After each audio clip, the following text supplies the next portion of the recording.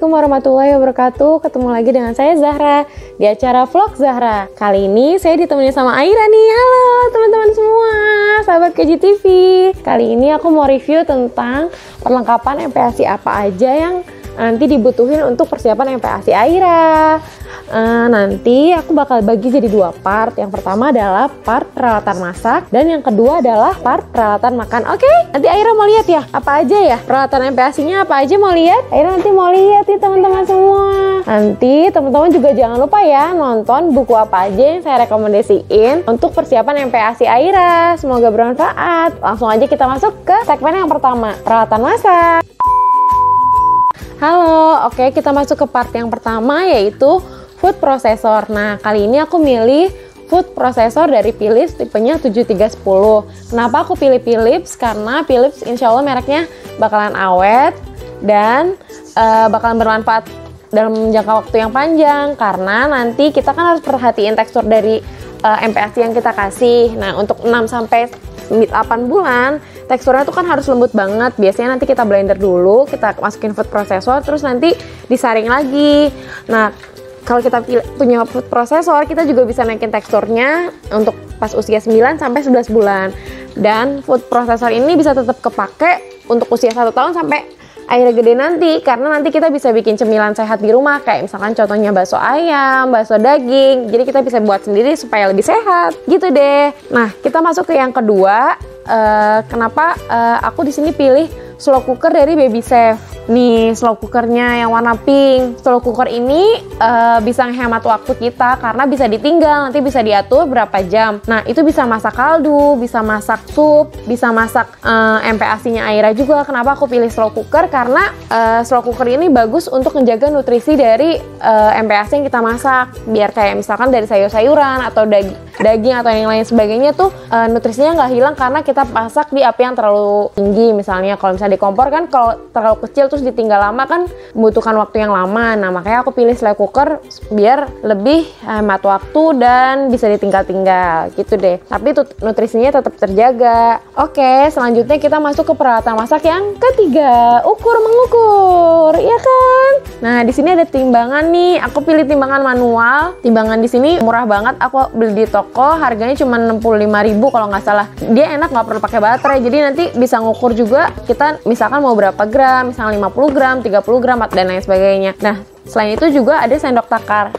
Yang warna-warni ini nih sendoknya. Di situ ada untuk 1 gram, 5 gram, 10 gram, dan 15 gram. Kalau untuk butuh yang kecil-kecil aja. Selain itu, kita juga bisa pakai yang gelas ukur ini. Itu bisa nanti bisa uh, gelasnya di situ kan ada uh, 100 ml, 200 ml sampai 500 ml. Jadi kalau misalnya kita menyesuaikan, kita mau masak MPASI dengan 100 ml, kita bisa mengukur airnya di situ. Jadi bisa lebih sesuai takaran gitu deh. Uh, selanjutnya kita masuk ke peralatan yang lainnya ya. Aira mau lihat peralatan lain yang mana aja. Di sini juga kita butuh. Aku di sini beli kayak teflon kecil gitu buat kalau misalkan aku masak uh, untuk satu porsi aja. Jadi untuk sekali makan. Jadi nggak nggak butuh banyak terlalu besar. Jadi ukurannya kan cuma sedikit untuk MPASI awal kan kita cuma butuh 1-2 sendok aja jadi nggak terlalu makan banyak tempat. Gitu ya. Iya Aira mau lihat apa? Mau lihat apa Aira? Oh ini, ini tadi sendok takarnya warna-warni ya. Ini sendok takarnya ini ada yang 1 gram, 5 gram, uh, 10 gram sama 15 gram. Nah ini yang penting banget juga, ini murah meriah tapi penting banget. Uh, ini aku juga belinya online. Ini saringan untuk jadi saringan ini nanti fungsinya bisa untuk menyaring uh, bubur yang udah kita masak. Setelah di uh, penyet-penyet atau di blender nanti kita saring lagi supaya lebih lembut lagi gitu.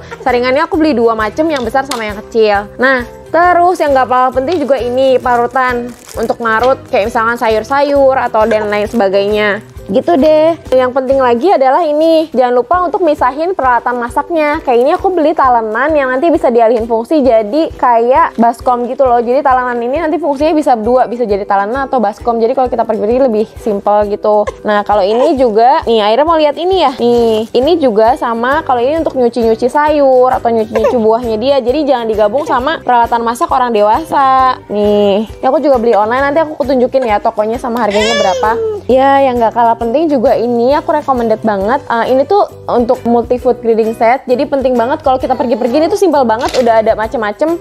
Ada buat kayak meshnya jadi nanti kalau misalnya kita uh, punya mangkok tinggal di mesh gitu atau mungkin di sini juga bisa langsung dipakai buat ini tak buka ya jadi ini uh, ini nanti buat ngehancurinnya jadi tinggal di kayak diginiin untuk hancur ini atau bisa dipakai ini juga dihancurin. Jadi kalau udah direbus tinggal dihancurin terus kita saring. Terus di sini dapat juga sendoknya. Tuh Aira mau pegang sendok lagi satu lagi. Satu lagi sendok mah sama ini ya. Ya nah ini juga bisa untuk ngancurinnya. Ya.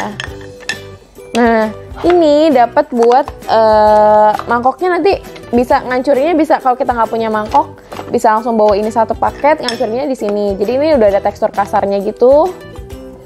Jadi nanti lebih mudah untuk halus lagi.